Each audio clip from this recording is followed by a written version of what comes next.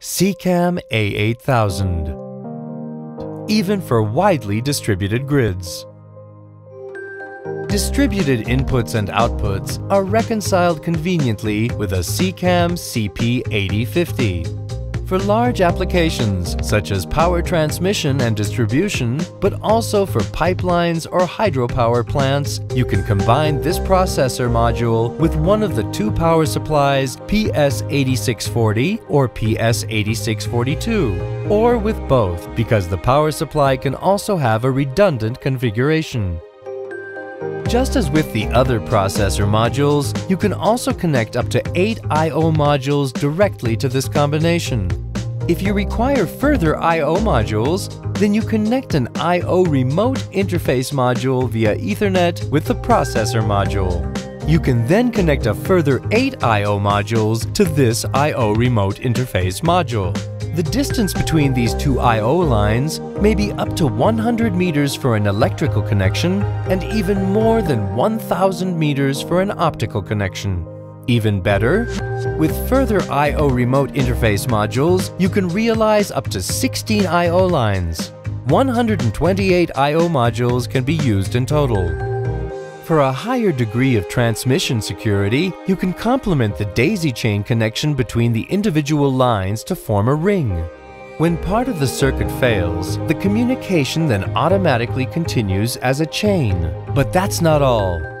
You can complement the processor module with two modules of the type CI8520 or CI8521, and in that way achieve the maximum flexibility for the system communication. Here are just a few possibilities. With IEC 61850, you can integrate protection devices into the structure, for example from the SIPROTEC 5 and SIPROTEC Compact families. Or you can use Ethernet interfaces for the coupling with other grids. Very easily you can also establish the connection to one or more network control centers, for example with IEC 104. Such highly networked system landscapes naturally require adequate and state-of-the-art protection. The basic cybersecurity functions of the SICAM A8000 series provide this. Beyond that, additional mechanisms in the CP8050 processor module ensure an even higher degree of security.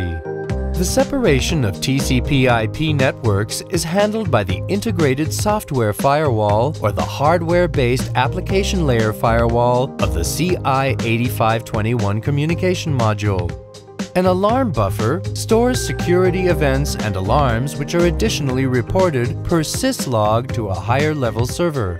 Role-based profiles, in accordance with IEC 62351 Part 8, regulate a user's actual scope of action. SICAM A8000 Compact solutions for practical use.